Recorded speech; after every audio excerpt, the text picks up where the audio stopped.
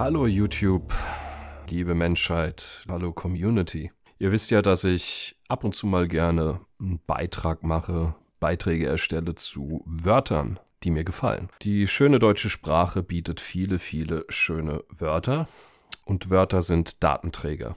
Ja, zur Verbindlichkeit, da macht es vielleicht mal Sinn, sich erstmal eine Definition durchzulesen. Heutzutage wird ja damit eher ein ökonomischer Begriff äh, verwendet. Ne? Die Verpflichtung eines Schuldners zur Leistungserbringung gegenüber seinem Gläubiger. Man kann vielleicht daran schon erkennen, wenn wir diesen Begriff eigentlich nur noch als wirtschaftlichen, transaktionellen Begriff im Austausch von Gütern begreifen, dass dieser Begriff für unser Zusammenleben an Bedeutung verloren hat. Aber warum ist das so? Warum ist Verhalten heute so undefiniert, so laissez-faire? Warum ist es möglich, sich zu verhalten, wie man eben gerade mal so will? Auch wenn man die Grenzen anderer permanent überschreitet. Wieso müssen die diese Grenzen, diese Grenzverletzungen eigentlich ständig ertragen? Warum sind wir eine Gesellschaft geworden, in der es plötzlich legitim scheint, dass Menschen, mit denen wir zum Beispiel zusammen sind, sich grotesk verhalten, ungebührlich, verletzend, untreu, herabwürdigend, respektlos. Und das müssen wir dann hinnehmen. Wie sind wir da hingekommen, dass wir keine Verbindlichkeit mehr erwarten?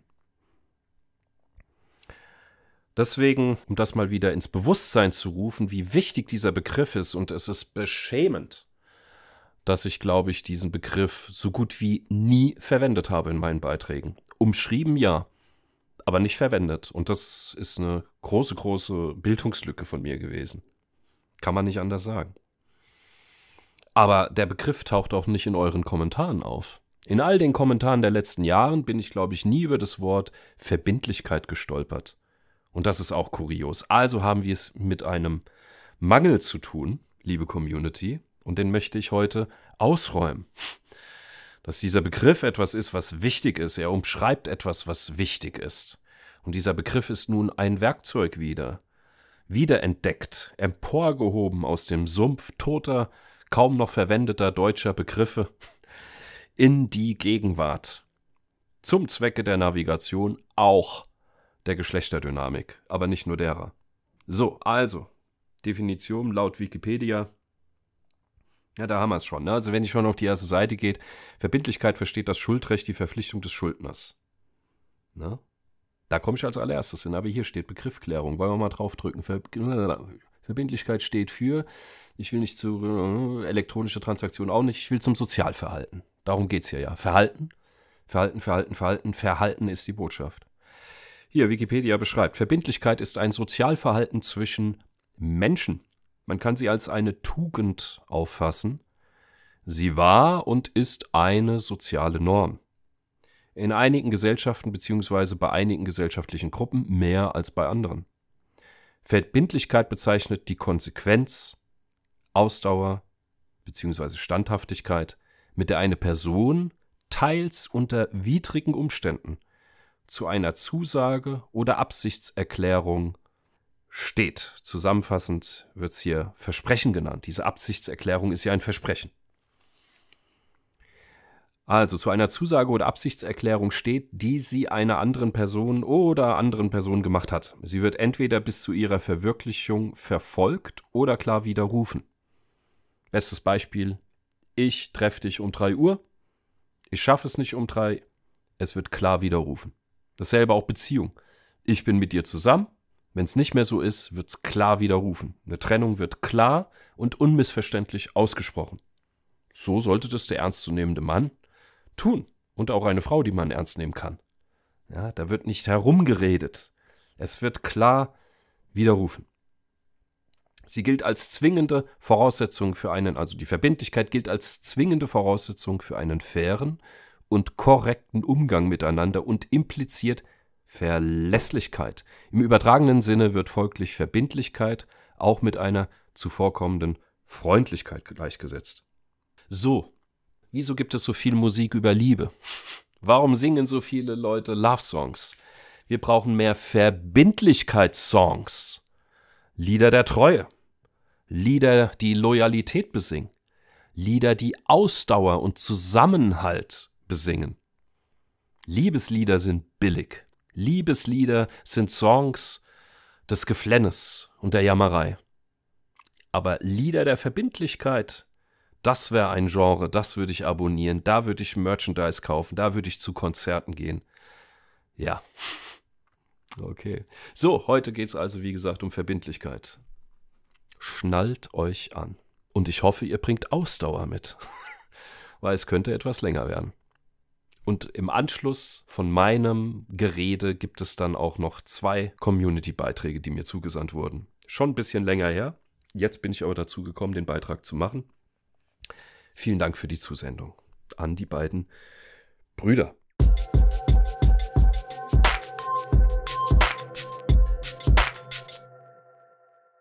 In meiner Tätigkeit als Coach habe ich häufig schon erlebt, dass manche Menschen Schwierigkeiten haben, sich Orientierung zu verschaffen in ihrem Leben.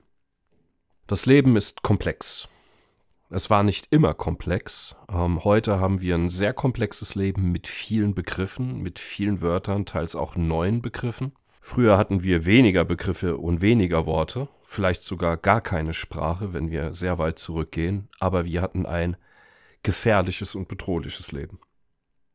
Mit mehr Wörtern haben wir mehr Kultur, erschaffen können. Und Kultur schützt uns. Eine Gruppe erzeugt sofort eine Kultur. Ja, Herr Fliegen. Kinder stranden an einer einsamen Insel und entwickeln sofort eine Kultur. Wir sehen das äh, überall. Das Internet entwickelt eine Kultur. Ja. Es gibt eine Kultur auf Foren, in Reddit-Bereichen. Es gibt Kultur überall. Kultur entsteht zwangsläufig, weil wir uns organisieren wollen. Wir wollen eine Regel des Zusammenlebens oder des Zusammenwirkens ähm, etablieren. Der große verstorbene Theologe Hans Küng hatte einmal versucht, was heißt versucht, er hat es getan, das Projekt Weltethos und hat sich umgeschaut, ähm, welche allgemeingültigen moralischen Grundsätze man definieren könnte, die wir in allen oder so gut wie allen Religionen finden. Und ich will da jetzt nicht zu tief drauf einsteigen, weil die Gefahr besteht jetzt schon wieder, dass ich zu weit von dem Begriff wegkomme, mit dem ich mich heute beschäftigen will. Aber all das, was ich sage, führt so ein bisschen drauf hin. Und ich hoffe, ich finde wieder die Kurve. Also, es ging darum, in einer Zeit der Veränderung, und diese Veränderung hat Hans Küng auch mit angestoßen innerhalb der katholischen Kirche. Aber in einer Zeit von großen, großen Veränderungen nach der Katastrophe des Holocausts, nach dieser unfassbar gigantischen Menschheitssünde in nie gekannten Ausmaße, vielleicht danach herauszufinden, wie können wir Zusammenleben organisieren und Verlässlichkeit herstellen oder, wie ich heute sagen möchte, Verbindlichkeit. Ja, viele Leute benutzen wenige Begriffe und mit wenigen Begriffen können wir nicht zum Ausdruck bringen, wie es uns geht. Das ist sehr, sehr, sehr, sehr schwierig. Neulich saß ich äh, auf einer Parkbank und durfte ähm, unfreiwillig ein Gespräch lauschen, das ein Junge mit einem anderen Freund geführt hatte. Und das ging ungefähr so. Ja, keine Ahnung, sie war total scheiße zu mir. Dann fragte der andere, ja, was hat sie denn gemacht? Ja, keine Ahnung, sie, ja, halt, sie war total scheiße. Und niemand ist scheiße zu mir. So, das klingt natürlich erstmal lustig. Aber womit wir es hier zu tun haben, ist natürlich ein Mensch, der nicht ausdrücken kann, was eigentlich jetzt bitte dieses Wort Scheiße bedeutet und was da konkret eigentlich für ein Problem vorliegt. Wenn wir uns jetzt vorstellen, dass der hingeht und mit seiner ebenso jungen und unreifen Freundin spricht und ihr klar macht, dass sie scheiße ist, dann ist es, vielleicht wissen beide, worum es geht, weil sie weiß ja womöglich auch, ähm, wo das Problem in ihrem Verhalten liegt. Aber präzise Sprache führt ganz einfach dazu, dass wir verstanden werden, was wir eigentlich von dem Gegenüber haben wollen. Sprache ist also wichtig und ähm, auch im Bereich der Maskulinität oder der Manosphere, wie dieser schreckliche Begriff, den Bereich der Männergemeinschaft im Internet umschreibt, gibt es ja auch Begriffe, die ich ja selbst auch benutze. Red Pill, Blue Pill, Purple Pill, den ganzen Spaß.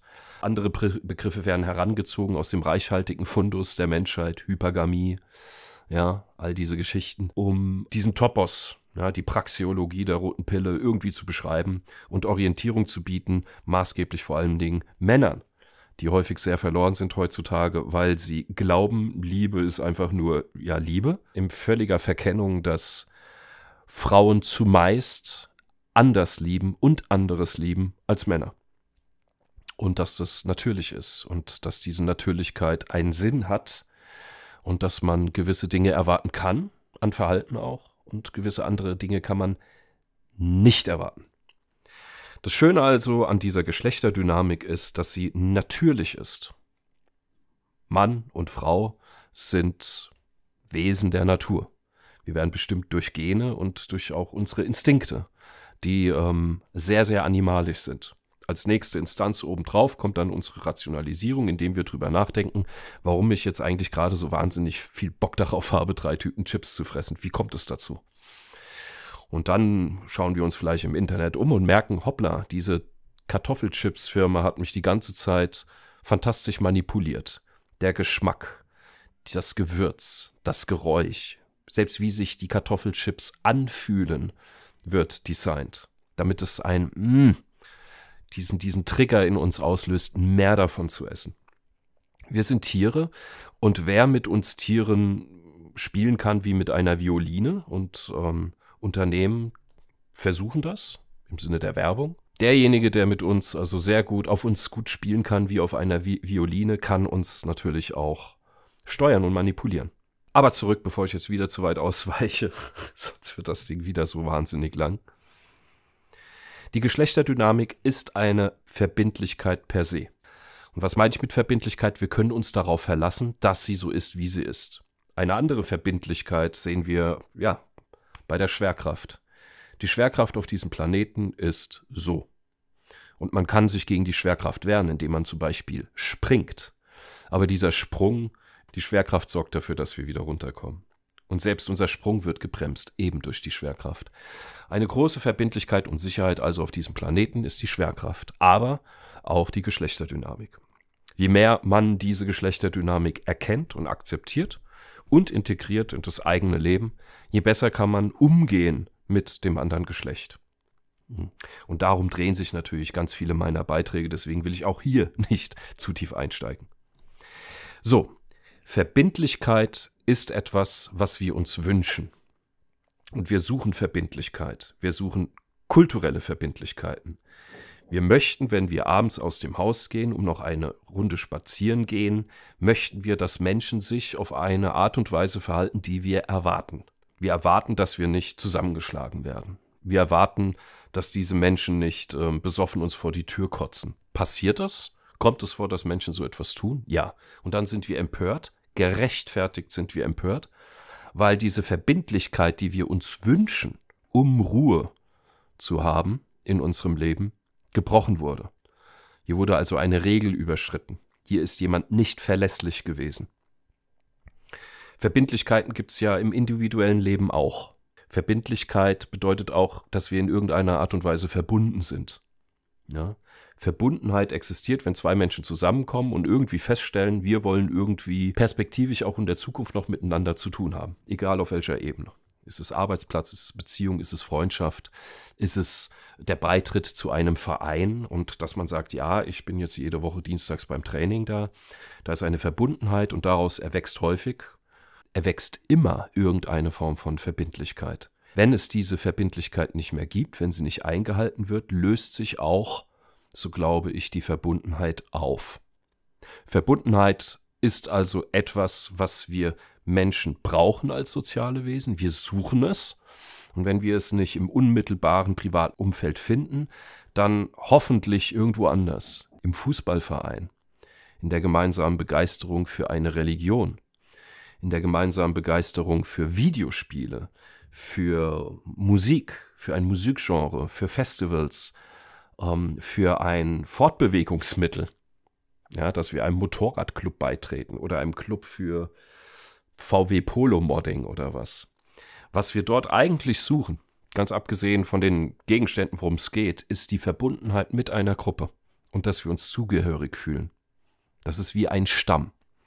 Wenn du in einem Club bist, VW Polo Modding e.V., weiß der Henker, dann bist du einem Stamm beigetreten.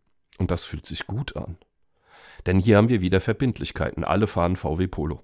sonst sonst wird es keinen Sinn machen. Da wird wahrscheinlich niemand mit einem Fiat Panda auftauchen. Und wenn wir darüber reden, über unsere Leidenschaft für dieses Gefährt, wird uns niemand komisch angucken. Weil deswegen sind wir ja da zusammengekommen. Das heißt, wir können uns beruhigen.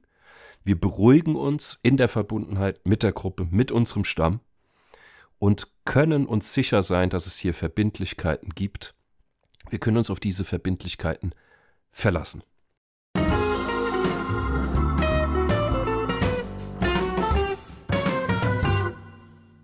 Beziehungen sind natürlich Bindung. Ohne Bindung gibt es keine Beziehung.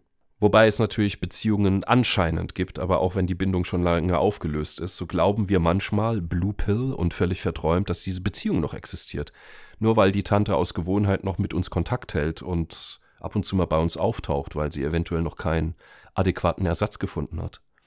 Dann glauben wir, dass es hier noch Verbundenheit gibt und dass ihr Verhalten auf andere Dinge zurückzuführen ist, wie dass sie angeblich seit sechs Monaten wahnsinnig viel Stress hat und dich nicht mehr angucken kann. Ja, dann versuchen wir uns einzureden, ja, ich muss nur lange genug hier brav ausharren, idealistisch liebend, und dann wird schon wieder es ein paar Brotkrümel der Verbundenheit geben, sodass ich dann wieder eher glauben kann, dass es diese Beziehung noch gibt. Aber selbst wenn es diese Verbundenheit nicht mehr gibt, Hauptsache, sie hat noch nicht mit mir Schluss gemacht. Wir warten also auch hier wieder auf ein Wort, nämlich Trennung. Bis wir dieses Wort Trennung nicht gehört haben, glauben wir, dass es diese Trennung nicht geben würde. Aber Worte sind das eine und Verhalten ist das andere. Worte können viel behaupten. Verhalten ist immer exakt das, was es ist. Betrügt so gut wie nie. Pantomime ist vielleicht eine Form von Verhalten. Ja, Pantomime kann betrügen. Ein Mann, der in der Fußgängerzone steht und so tut, als würde er Blumen gießen, obwohl es keine Blumen gibt und keine Gießkanne, betrügt womöglich mit dem Verhalten. Er macht es aber so geschickt, dass wir uns darüber amüsieren. Natürlich kann man mit Verhalten gewisse Täuschungsmanöver machen. Aber wenn wir mit einem Menschen zusammen sind, ganz eng, ob als Arbeitskollege oder oder oder, dann können wir uns nur durch Worte täuschen lassen. Das Verhalten, wenn wir es deutlich sehen, lügt an sich nie. Und schon gar nicht äh, dauerhaft, das ist viel zu anstrengend.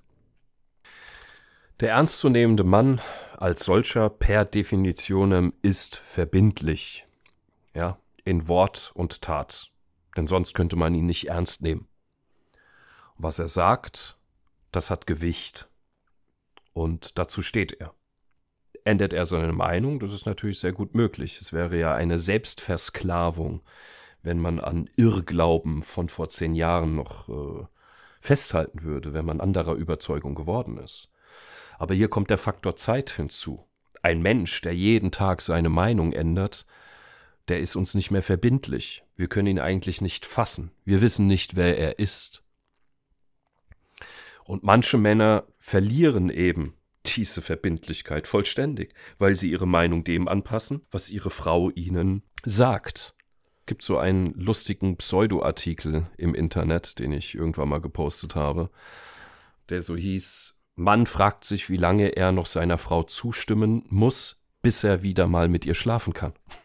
Das ist natürlich äh, lustig. Aber was hier drin steckt, ist, dieser Mann ist nicht mehr verbindlich. Er orientiert sich nur noch an dem, was seine Frau gut findet oder schlecht findet und nickt alles stumm ab wie ich schon mal gesagt hatte, hier hören wir eigentlich komplett auf zu existieren. Wir haben keine, keinen eigenen Kurs mehr. Wir bewegen uns nicht mehr vorwärts. Nur noch gezogen werden wir von jemand anderem. In dessen Windschatten existieren wir. Oder in dessen Fahrwasser dümpeln wir hinterher. Aber wir verursachen keine wirkliche Welle in unserem Leben, in dem Leben anderer oder im Universum als solchem wir verschwinden. Vielleicht essen wir morgens und scheißen abends, aber wir sind gar nicht wirklich da. Vielleicht haben wir Funktionen für andere Leute, wie wir bringen eine Arbeitsleistung und sagen immer schön Ja und Amen, aber wir hören auf zu existieren. Sind wir dann in irgendeiner Art und Weise attraktiv auch für andere Männer, um mit uns befreundet zu sein? Ich glaube nicht. Höchstens vielleicht äh, andere Leidensgenossen. Verbindlichkeit bedeutet, wenn ich sage zum Beispiel in Bezug aufs Coaching, ich rufe dich, ich melde mich dann und dann bei dir, dann wird es auch passieren. Habe ich schon einmal einen Termin verschieben müssen? Ja, bei Krankheit zum Beispiel. Das ist möglich. Aber dann sorge ich nach Kräften dafür, dass die andere Person das schnellstmöglich erfährt und sich danach richten kann. Wir haben Verbindlichkeiten verloren durch moderne Elektronik. Ich bin so ein alter Sack, ich kann mich noch daran erinnern, dass man sich verabredet hat am Brunnen in der Altstadt um so und so viel Uhr. Es gab kein Handy, um fünf Minuten vorher zu sagen, sorry, dauert noch zehn Minuten länger. Das heißt, man hat sich dort getroffen und wenn irgendjemand permanent unverbindlich war und sich alles offen gehalten hat, dann hat man diesen Menschen nicht mehr getroffen. Heutzutage können wir so etwas sehr, sehr schnell ändern. Und wieder der Faktor Zeit. Die Geschwindigkeit ist dazu gekommen. In einer großen, großen Geschwindigkeit können sich Verbindlichkeiten ändern. Anforderungen ändern sich. Sprache soll sich sehr schnell ändern. Und wir wissen eigentlich gar nicht mehr, wo uns der Kopf steht. Was wir vor zehn Jahren noch sagen durften, dürfen wir heute nicht mehr sagen. Wie wir vor fünf Jahren schreiben durften, ist fraglich, ob das noch akzeptabel ist oder nicht. Einerseits ist Veränderung Teil des Lebens. Und zu glauben, dass sich nie irgendetwas verändert, wäre absurd. Das wäre genauso wie zu sagen, die Schwerkraft existiert nicht oder die Geschlechterdynamik existiert nicht. Dinge sind, wie sie sind. Veränderung geschieht. Die Entropie der Dinge ist da. Alles, was geboren wurde, muss zwingend sterben und auf dem Weg dahin unterliegt es Alterungsprozessen, Krankheit und Tod. Das können wir auf Menschen, auf Lebewesen anwenden, aber auch auf alle Dinge. Wenn du ein Haus baust, dann wirst du permanent damit beschäftigt sein, die Krankheiten des Hauses zu bekämpfen, sonst modert dir die Bude rund um den Schornstein weg. Alles altert und alles hat auch irgendwann mal ein Ende. Also Veränderung, Veränderung geschieht. Jedoch glaube ich, dass viele, viele Dinge, und jetzt will ich auf die Gesellschaft zu sprechen kommen, in einer Geschwindigkeit geschehen, wo wir nicht mehr mitkommen. Wir werden nicht mehr mitgenommen. Es wird von uns verlangt, dass wir uns sehr schnell ändern. Ist das stellenweise nötig? Ich finde, ja. Stellenweise mag das nötig sein.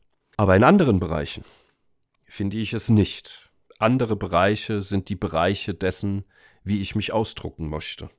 Da möchte ich mich nicht beschleunigen lassen. Ist es möglich, dass ich in zehn Jahren anders denke? Ist möglich. Aber Kultur hat sich früher langsamer entwickelt. Durch das Internet, das wir alle nutzen, als Werkzeug, sind wir aber auch gefordert, auf alles rasend schnell zu reagieren, was sich gesellschaftlich nun ändert. Es gibt kein Dorf mehr, das unbeeindruckt ist davon. Und die Verbindlichkeiten verschwinden. Wenn Verbindlichkeiten aber verschwinden, so meine These ja am Anfang, dann wird es mit Verbundenheit schwierig. Und dann sehen wir, dass Familien zum Beispiel auseinandergehen, dass Gesellschaften gespalten werden, dass Dinge, auf die wir uns hofften verlassen zu können, sich auflösen.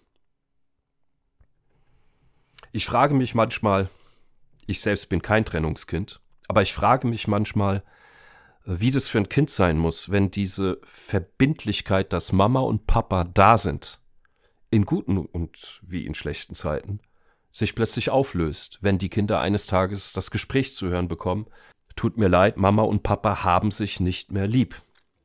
Und jetzt wohnt Papa woanders, oder oder. Diese Verbindlichkeit muss für ein Kind sehr verstörend sein, wenn es diese Verbindlichkeit verliert. Kann es ersetzt werden durch neue Verbindlichkeiten, die wieder Sicherheit bieten? Ja, nämlich alle zwei Wochen siehst du dann diesen oder jenen. Das ist so eine häufige Form von, um neue Sicherheit zu bieten. Griffe im Leben, an die wir uns festhalten können. Früher war Es die Aufgabe der Kirchen, Verbindlichkeit herzustellen. Es gab verbindliche Regeln. Was wird zum Beispiel gegessen freitags? Ja, es gab noch Speiseregeln. Sind diese Speiseregeln wirklich wichtig? Ich glaube nicht. Aber sie haben Ordnung und Struktur gegeben in ein ansonsten relativ bedrohliches Leben. Denn Leben ist immer bedrohlich. Wir altern und wir sterben. Menschen, die wir lieben, altern und sterben. Oder verlassen uns. Und das ist heute auch häufiger geworden. Wenn wir in eine Beziehung gehen, dann ist das ein Lebensabschnittsgefährte. Mal schauen, wie lang das gut geht. Mal schauen, bis auf weiteres.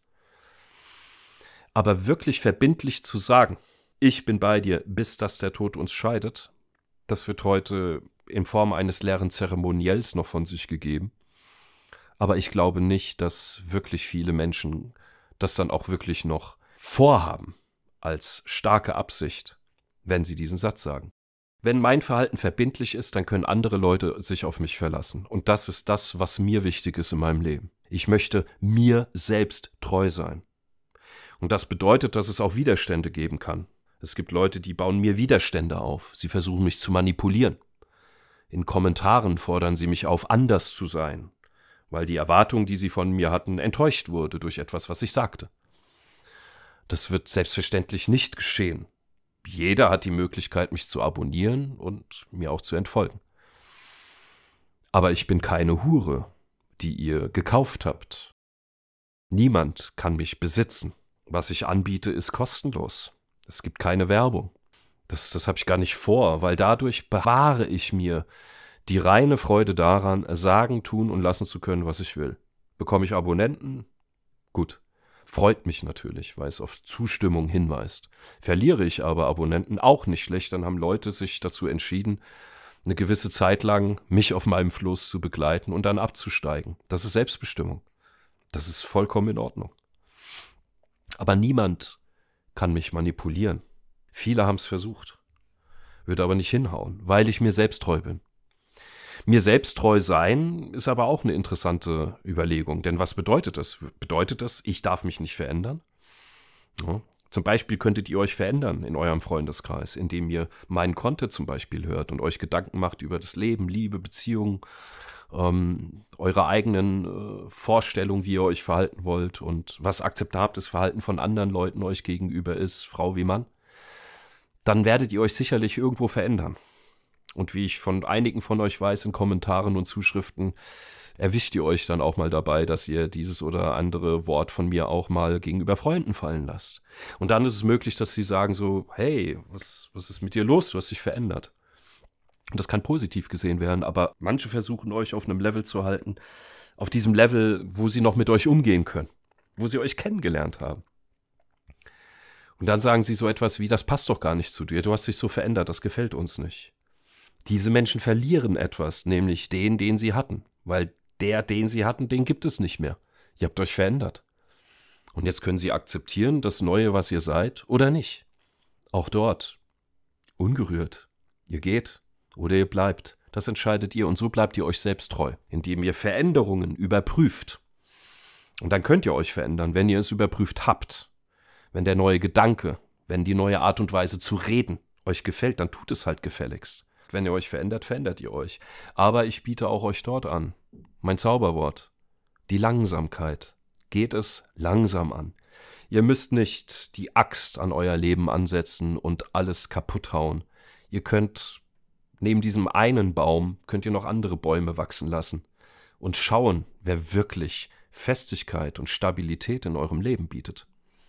Und das können andere Menschen sein, die ein Verhalten an den Tag legen, das verbindlich ist Ihr könnt euch auf diese Leute verlassen. Auch wenn es mal hässlich wird, wenn es widrig wird, wenn es kompliziert wird, wenn es unangenehm wird, dann sind sie die, die sie sind. Und ihr könnt euch auf dieses Verhalten verlassen. Die Gesellschaft verliert Verbindlichkeiten in einem gigantischen Ausmaß. Eine Krise nach der anderen folgt. Ich habe das Gefühl, dass wir seit ja, fast zehn Jahren eigentlich von einer Krise in die nächste schlittern. Viele sind zu Recht überfordert, wie kann man diese Probleme lösen? Und da wir Menschen sind und keine Götter, sind viele dieser Lösungsversuche nicht perfekt. So ist das nun mal. Ich würde mir auch wünschen, dass diese Dinge viel langsamer passieren und weniger häufig, dass man sich langsam anpassen kann. Aber viele Veränderungen bieten uns diese Gunst nicht, sich Zeit zu lassen. Sie kommen und treten die Tür ein in unserem Leben und wir müssen darauf reagieren. Dann brauchen wir neue Verbindlichkeiten, neue Regeln des Zusammenlebens. Die gute alte Zeit in Anführungsstrichen, ja, war sie wirklich so gut? In vielen Dingen glaube ich, ja. ja, sie war es. Die gute alte Zeit, die ich erlebt habe in den 80ern, die war ganz schön gut. Die 90er waren auch noch ganz schön gut. Es gab viel Stabilität, es gab viel Verlässlichkeit und Verbindlichkeiten. Heute aber ist das weggewischt. Und deswegen sind so Figuren wie ich im Internet und erzählen darüber und werden gehört. Und wir bieten vielleicht Verbindlichkeiten. Ja, das, was weiß ich, man sieht meine Beiträge, man sieht das Design der Thumbnails und womöglich fühlt man sich zu Hause und man kann irgendwie, man erwartet irgendetwas, wenn man draufdrückt und dann den Beitrag startet. Ja, und manche machen ja da ein Ritual draus. Es gibt einen Bruder, der immer sagt, immer neuer Beitrag, Whisky, Zigarre. Und dann genießt er den Beitrag wirklich. Ich weiß nicht, ob man meine Beiträge genießen kann. Ich genieße sie nicht, ich höre sie mir nicht an. Aber so ist das. Und so schaffen wir wieder eine Kultur und eine Sicherheit. Wenn ich einen Wunsch habe, dann ist es Sicherheit zu bieten. Bietet den Leuten Sicherheit um euch herum. Das wäre meine Empfehlung. Die Sicherheit eures guten Verhaltens. Aber ein gutes Verhalten ist nicht automatisch ein Verhalten, was diesen Menschen gefällt, sondern ein gutes Verhalten ist, was Verlässlichkeit auch ausstrahlt und Sicherheit bietet. Wenn ein Freund Scheiße baut, dann ermahnt ihn. Freund zu sein bedeutet nicht, alles abzunicken, was sie für einen Dreck in ihrem Leben fabrizieren. Ein guter Freund kommt und coacht zur Not auch seinen Freund und hält ihn ab davon mit Wort, mit einem strengen Wort vielleicht auch mal, um nicht abzugleiten, weil wir an diesen Menschen interessiert sind, wir sind verbunden. Da kommt der Begriff dann Brüder hinzu, der natürlich vollkommen kitschig ist. Ich nenne euch häufig Brüder oder auch Schwestern. Das hat natürlich so gut wie keine Bedeutung, aber auf eine gewisse Art und Weise fühlen wir uns auch durch solche Worte vielleicht zu Hause, angenommen und gehört.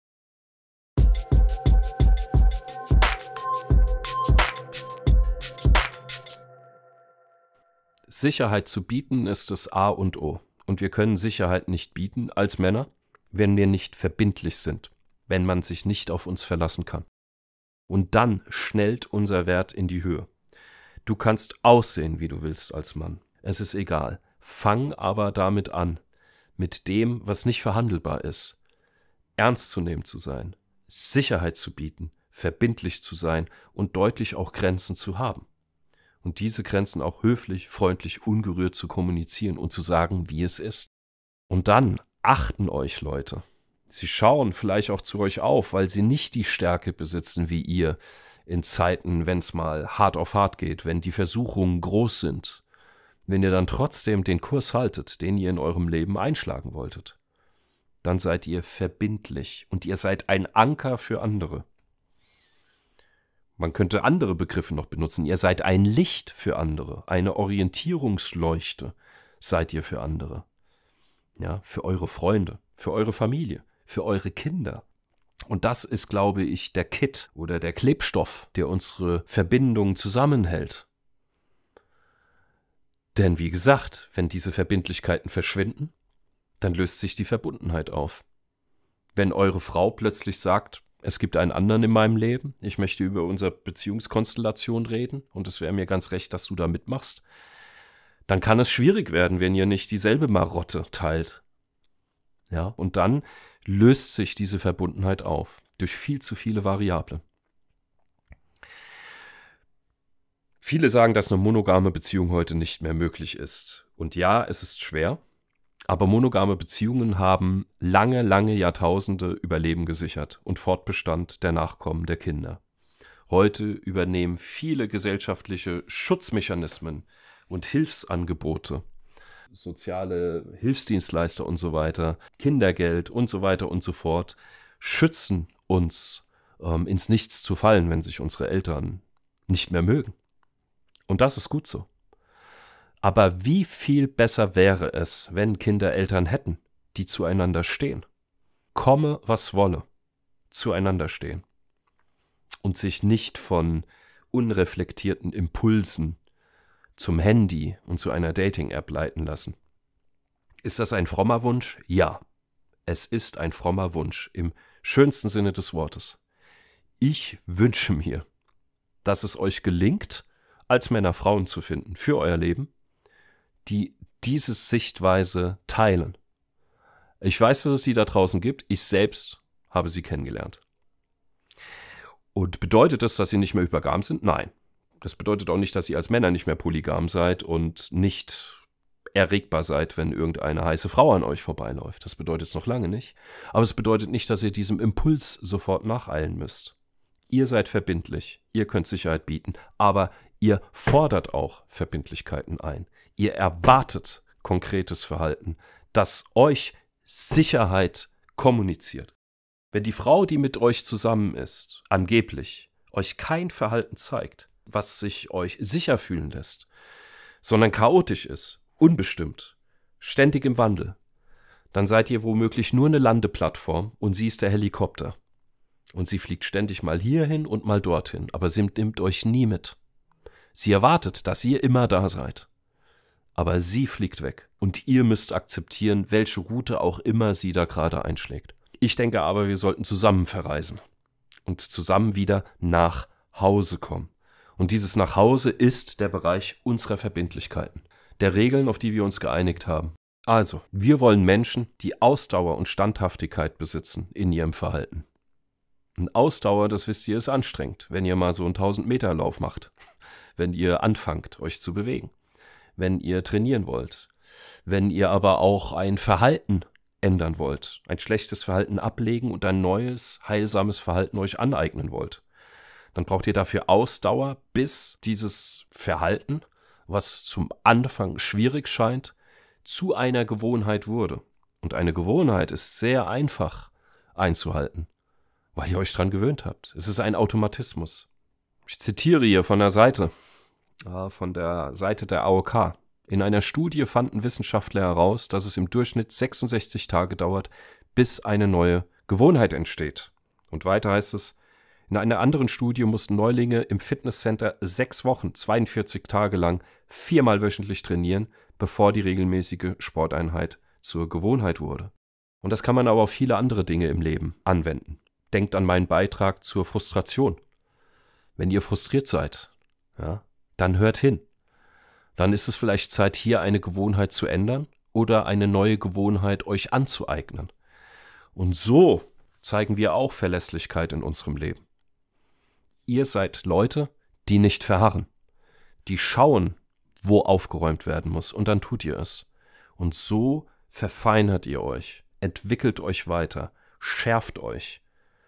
Wenn ihr vorher nur ein Buttermesser wart, das kaum dazu in der Lage ist, ein feuchtes Brötchen durchzuschneiden, dann werdet ihr mit der Zeit, mit Ausdauer, mit Integrität, mit Verlässlichkeit, mit verbindlicher Anstrengung und mit Sicherheit, die ihr anderen Leuten bietet, dadurch, dass euer Verhalten eben das ist, wie ihr seid, indem ihr euch treu seid, auf Kurs bleibt, voller Kraft, auch wenn es bald schwierig wird, auch wenn es anstrengend ist, dann wird aus diesem stumpfen Buttermesser mit der Zeit ein zwanzigfach gefaltetes Samurai-Schwert.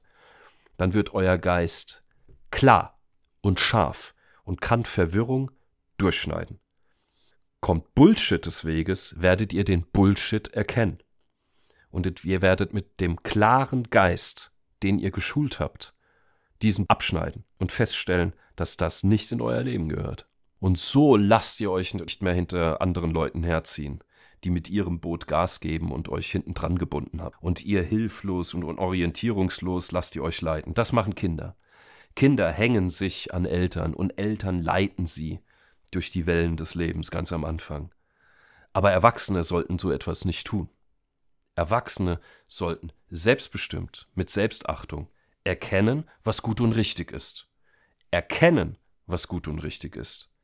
Nicht einfach blind glauben, sondern überprüfen, anwenden im eigenen Leben. Und wenn es dann gut ist, das Gute tun. Und wenn es nicht gut ist, es eben lassen. Wir sind also dann ein Versprechen an die Welt. Manchmal habe ich es genannt, wir sind ein Angebot für die Welt oder sei ein Angebot in die Welt. Stell dich in die Welt als das Angebot, das du bist. Der Mensch, der du geworden bist, der noch immer im Werden begriffen ist. Denn wir, wir sind nie fertig, wir werden immer, bis wir nicht mehr sind. Aber bis dahin sind wir Geschöpfe, die ständig im Werden sind. Und darauf können wir stolz sein, wenn wir das akzeptieren, wenn wir uns dieser Veränderung äh, nicht entgegenstellen, sondern die Veränderung navigieren, die Veränderung bei den Hörnern packen und auch Kontrolle ausüben in unserem Leben und die Veränderung selbst ausführen und uns nicht ziehen lassen, dann sind wir ein Versprechen an unsere Mitmenschen. Ob es in der Gemeinde ist, im Verein, im Freundeskreis, am Arbeitsplatz oder in der Familie oder in der Beziehung zu einer guten Frau, die euch mit ihrem guten Verhalten, mit ihren Verbindlichkeiten, mit ihrem integren, glaubwürdigen Verhalten. Für so eine Frau seid ihr auch ein Versprechen, dass das, was ihr von ihr bekommt, zurückzahlt mit eurer Maskulinität. Diese Männlichkeit gibt es nicht wie Hülle und Fülle. Das ist nur eure. Und die könnt ihr nur ganz bestimmten Menschen von Qualität bieten.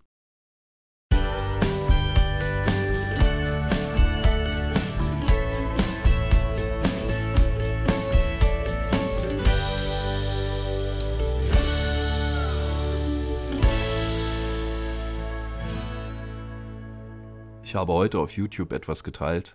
Das ist schon ein sehr, sehr altes, äh, ein alter Spruch von mir, den ich vor Jahren, naja, oder vor einem Jahr, ich weiß nicht genau, vor längerer Zeit auf YouTube geteilt habe und ähm, es jetzt auch nochmal getan habe. Meine Definition von Maskulinität, die ist wie folgt.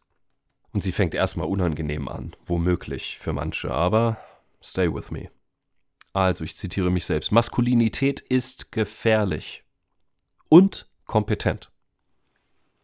Bedrohlich und nur genau dadurch auch fähig zu schützen. Ich kommentiere mich jetzt mal kurz selbst. Wir erwarten von Männern also, dass sie schützen, dass sie Schutzfunktionen ausüben, dass sie mit ihrer Körperlichkeit und mit ihrem Testosteron sich in die Gewehre der Invasoren stürzen und diese aufhalten. Dass sie unser Grund und Boden schützen, die Frau schützen, wenn man abends vom Restaurant nach Hause geht und zwielichtige Gesellen des Weges kommen. Dafür muss aber der Mann auch gefährlich sein und kompetent als Mann, mit einer angeborenen potenziellen Gefährlichkeit, die aber nicht permanent da ist, sondern dann zum Vorschein kommt, wie die Feuerwehr, wenn es brennt. Dann wird er gefährlich und bedrohlich, um das zu schützen, was gut ist. Und nur dadurch ist er auch schutzfähig. Ein Mann, der diese Maskulinität leugnet, nicht entwickeln will, ungefährlich sein möchte, inkompetent für etwas Besonderes oder Lobenswertes hält, sich vielleicht über sich selbst lustig macht, den Frauen ständig erklärt, warum sie nicht auf ihn stehen sollten, weil er so eine Flasche ist. Hahaha. Ha, ha. Der Clown. Ja, der Narr. Der törichte Typ. Ach, ihr wisst doch, ich kann das nicht. Der sich also demütigt vor anderen, um gemocht zu werden. Der Mann, verleugnet seine Männlichkeit. Und ich finde das nicht gesund. Ich glaube, dass so etwas krank macht. Und wir müssen verbindlich sein. Wir sind Männer, dann sollten wir Männer sein. Und so strahlen wir auch Sicherheit aus. Man kann von uns bestimmte Dinge erwarten, andere Dinge aber nicht. Weiter in, meinem, in meiner Definition von Maskulinität. Die Kunst ist es dabei aber kein gestörtes, brutales Arschloch zu sein, sondern das Versprechen und hier steckt das Wort Versprechen wieder drin, worin ja auch Verbindlichkeit zur Geltung kommt, sondern das Versprechen überzeugend einzulösen, der ungerührte und starke Fels zu sein, an dem sich jedwede Brandung des Alltags bricht. Und auch jeder ihrer albernen Shit-Tests. Das ist meine Definition von Männlichkeit, von Maskulinität. Wir sind also ein Versprechen. Wir versprechen der Welt, dass wir das sind. Ob die Welt das gerade mal mag oder nicht mag, das ist irrelevant. Wir versprechen, dass wir das sind. Wir sind ernstzunehmende Männer. Verpflichtet der Rationalität, zu erkennen, was ist und was nicht ist. Uns nicht zu täuschen. Uns nicht täuschen zu lassen. Nicht der Selbsttäuschung zu verfallen. und uns auch eines Besseren belehren zu lassen, wenn Fakten daherkommen, die uns überzeugen. Aber dann auch nur dann. Und sollte es bedeuten, dass wir zu einer bestimmten Gruppe nicht mehr gehören können, weil sich unsere Ansicht geändert hat, dann ist das eben so. Wir sind keine Parteisoldaten von der Krabbentonne, in der wir jahrelang drin saßen und uns wieder zurückziehen lassen auf ihr Niveau. Wir sind Krabben, die rauskrabbeln aus der Tonne. Wir sind Individuen. Man kann sich auf uns verlassen. Man kann uns aber nicht manipulieren. Das ist nicht möglich. Und das ist unser Versprechen an die Welt. Ihr wisst, dass ich äh, mir gerne Gedanken mache über unsere Herkunft. Damit meine ich nicht, aus welchem Kaff wir kommen, sondern Herkunft als Menschen, als Homo sapiens. Und was wir davor waren. Und was davor nützlich war und nicht nützlich. Und dass das nicht Nützliche aussortiert wurde mit der Zeit. Und das, was wir heute sind, ist aber leider nicht immer das, was nützlich ist für diese schnelle Zeit. Wir sind noch immer derselbe Körper, dasselbe Gehirn wie vor zigtausend Jahren. Da hat sich relativ wenig verändert. Vielleicht sind wir größer geworden, ja, weil wir proteinreichere Nahrung zu uns nehmen und generell äh, nicht an Mangelernährung leiden müssen hier in dem fetten, fetten und wohlhabenden Land, in dem wir leben. Aber ansonsten ist alles noch ganz beim Alten. Und damals haben wir in kleineren Gruppen gelebt. Großstädte, Städte generell, größere Gemeinden gab es nicht so häufig und waren eher ein Phänomen. Heute ist es die hm, Normalität. Die Normalität ist es, in großen Städten zu leben. Was heute eine Kleinstadt ist, war vor 3000 Jahren eine Metropole.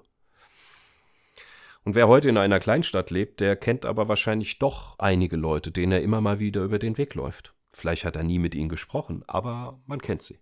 Man sieht sie an der Ampel auf dem Weg zum Bäcker. Schon seit Jahren. Es sind immer dieselben. wir merken, oh, der wohnt auch hier. Muss hier wohnen, denn wir sehen sie auch häufig.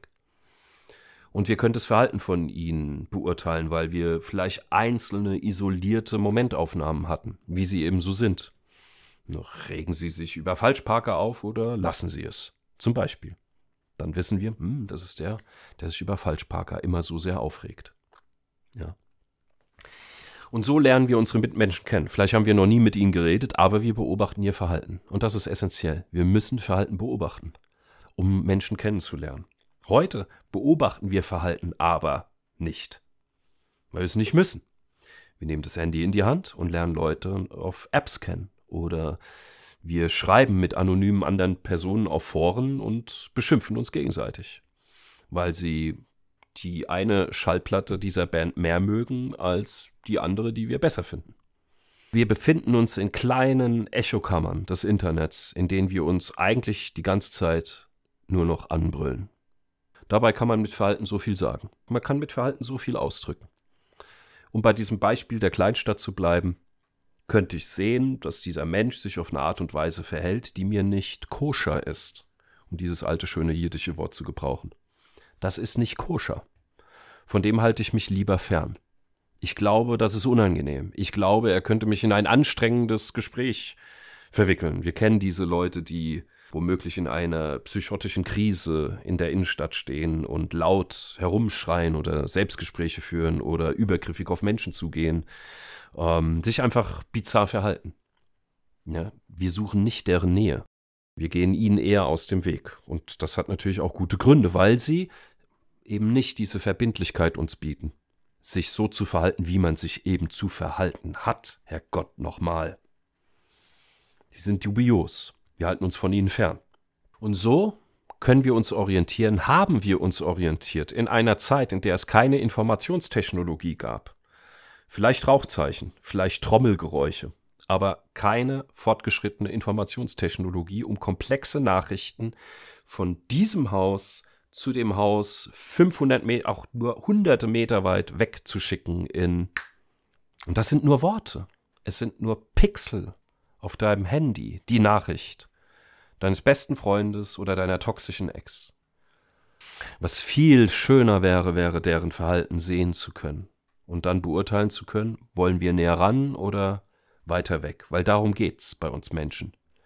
Wollen wir näher an diesen Menschen ran oder wollen wir weiter von diesem Menschen weg? Darum geht's bei uns Menschen häufig. Nähe aufbauen oder Distanz aufbauen. Distanz bewahren oder Distanz abbauen. Es ist wie ein Atmen, wie Moleküle, die sich mal verbinden und wieder trennen. So sind wir Menschen. Und diejenigen, die Sicherheit in ihrem Verhalten uns bieten, in diesem Kleinstadt-Szenario, was ich jetzt gestrickt habe, ähm, bei denen fühlen wir uns gut aufgehoben. Treffen wir die mal beim Bäcker, sprechen wir sie vielleicht sogar an und wünschen ihnen einen guten Tag.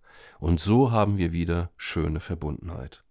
Eine Gesellschaft muss klare Grenzen haben und diese Grenzen streng und deutlich nach außen vertreten und definieren. Damit wir alle mit an Bord bleiben. Diejenigen, die durch gutes Verhalten, Verbindlichkeit und durch das Versprechen, sich an die gemeinsamen Regeln zu halten, auch zum Ausdruck bringen, dass sie dazugehören. Weil Dazugehörigkeit geschieht nicht durch einfache geografische Anwesenheit an einem gegebenen Ort.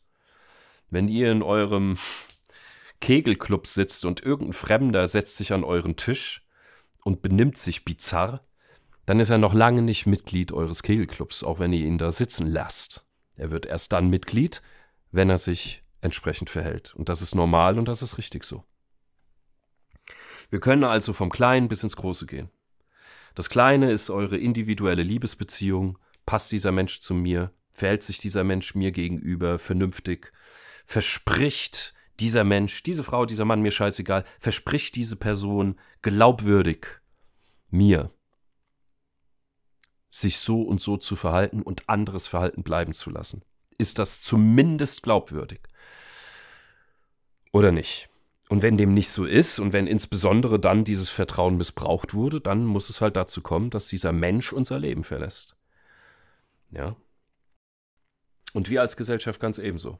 Wir haben auch Grenzen und unser Zusammenleben kann sich verändern. Es kann neue Regeln geben. Aber zunächst brauchen wir Langsamkeit, um wirklich zu schauen, was war gut und richtig und was kann sich ändern. Und sich da absurd beschleunigen zu lassen, strapaziert die Geduld vieler. Und das kann eine Gesellschaft spalten und auseinanderbrechen lassen, wie eine Familie.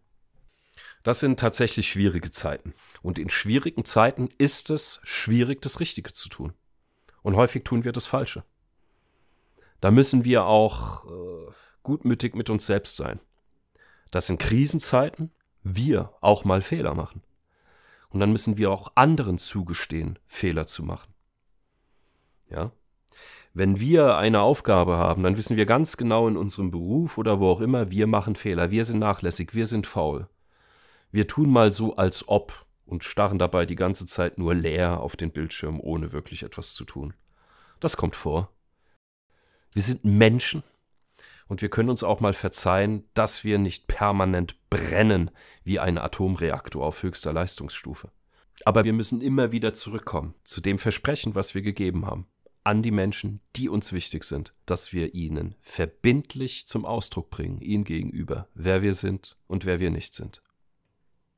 Das war mal wieder locker aus der Hüfte geredet. Jetzt im Anschluss kommen noch zwei Beiträge von Abonnenten des Kanals, Freunden des Kanals, die mir zwei Männer, diesmal ist ähm, leider wieder keine Frau dabei, ähm, ich möchte euch ermutigen, in Zukunft, wenn ich mal so etwas schreibe als Community-Beitrag, oh, ich überlege mir einen Beitrag zu Thema XY zu machen, macht euch Gedanken, nehmt etwas auf.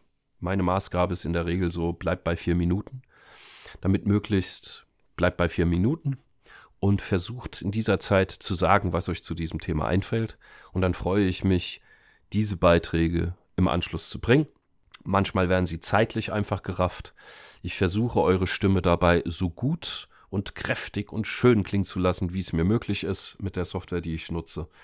Und ähm, ja, es freut mich immer sehr und diese Community-Beiträge liegen mir sehr am Herzen. Leider, oder was heißt leider, ist einfach die Natur der Dinge, dass Community-Beiträge häufig nicht so häufig angeklickt werden wie Rohbeiträge. Ja, es ist die Natur auch des Internets, dass es auf ähm, provokante Sachen sehr, sehr schnell anspringt. Und ich versuche meine Titel der Beiträge klar und deutlich zu halten. Und, ähm, und ein Beitrag, der jetzt heißt Verbindlichkeit, so wie dieser, der zieht nicht viele, viele Klicks an. Aber es ist mir wichtig, es bereitet mir große Freude.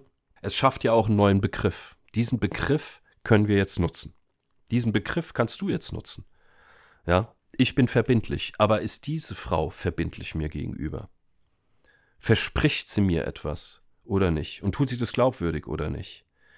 Und wenn sie mich ständig enttäuscht, wenn sie immer zu spät kommt, wenn sie sich nicht an Absprachen hält und so weiter und so fort, dann haben wir es womöglich mit einem Menschen zu tun, dessen Verbundenheit mit uns ihr einfach scheißegal ist. Und wenn ihr die Verbundenheit mit uns scheißegal ist und sie das nicht wertschätzt, das gute Angebot und Versprechen von Sicherheit, was wir stellen können, dann hat sie es nicht verdient. Und dann muss diese Beziehung beendet werden. Es ist eigentlich ganz einfach.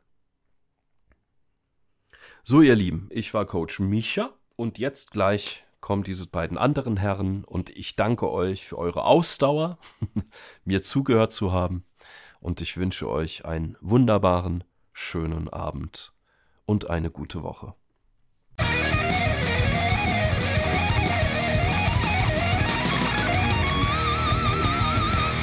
Glaubt an euch, glaubt an den Prozess, kümmert euch um gute Luft, gutes Wasser und gutes Essen. Alles andere ist optional und ein Bonus.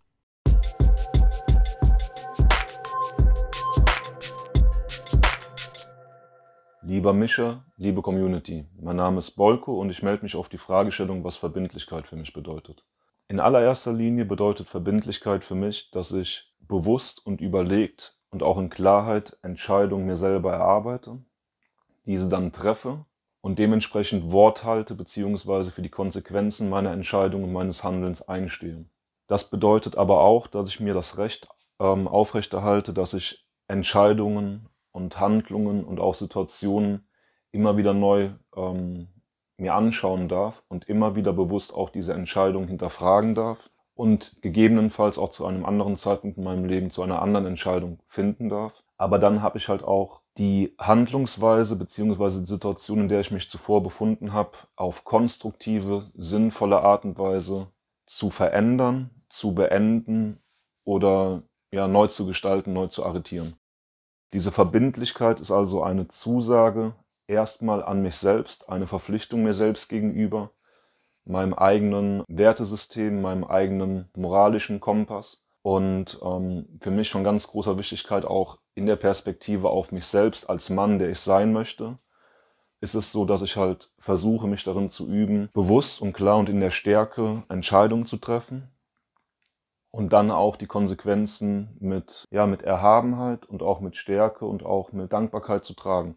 Auch wenn die Konsequenzen vielleicht ab und an herausfordernd oder schwierig sein dürfen, aber auch dann einfach in meinem Handeln, in meinem Sein weiterhin in der Klarheit und in der Stärke und im Bewusstsein zu sein.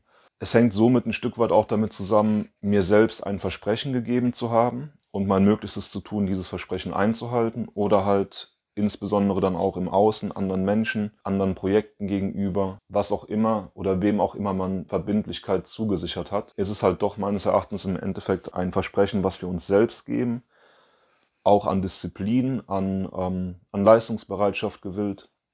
Unabhängig jetzt davon, ob ich mir selber verspreche, verbindlich für mich bestmöglich Sorge zu tragen, über Meditation, über Sport, über Verhaltensweisen, die ich mir abtrainieren möchte, oder ob ich jemand anderem meine Verbindlichkeit zusage, dass ich mich um jemanden kümmere. Das fällt für mich alles in dieses Themenbereich. Und es ist auch so, dass ich bei mir selber beobachtet habe, dass wir dazu neigen, auch gerade noch in jüngeren Jahren, dass wir sehr motiviert in irgendeine Sache hineinstarten, vielleicht die ersten ein, zwei, drei, vier, fünf Tage durchziehen und machen und dann auf einmal am sechsten, siebten Tag halt doch nicht die 100 Prozent bringen können, die wir uns vorgenommen haben und dann daran verzweifeln und vielleicht das Ganze irgendwie fallen lassen. So ein klassisches Beispiel dafür sind Diäten oder halt der Start irgendwie ins ähm, Fitnessstudio zu gehen am Jahresbeginn. Das ist dann genau der Punkt, wo für mich Verbindlichkeit zum Tragen kommt. Wenn ich meinem eigenen Anspruch irgendwann nicht gerecht werden kann, dann verzweifle ich nicht daran und werfe die Flinte ins Korn, sondern sondern ich bin liebevoll und gnädig zu mir selber oder gestehe mir ein, auch nur ein Mensch zu sein und werde aber am nächsten Tag wieder oder dann meinetwegen im nächsten Augenblick wieder in die Verbindlichkeit zurückfinden und wieder mein Bestes versuchen zu geben. Ohne Zwang, ohne Drangsalierung meiner selbst, sondern in Liebe und Fürsorge für mich und für das Außen. Um das an meinem eigenen Leben an einem Beispiel zu benennen, ich pflege und betreue meinen Vater nun seit acht Jahren zu Hause in der häuslichen Pflege. Und das ist eine Zusage, eine Verbindlichkeit, die ich vor acht Jahren ganz bewusst gewählt habe. Das war für mich die einfachste und klarste Entscheidung meines Lebens, weil mein Vater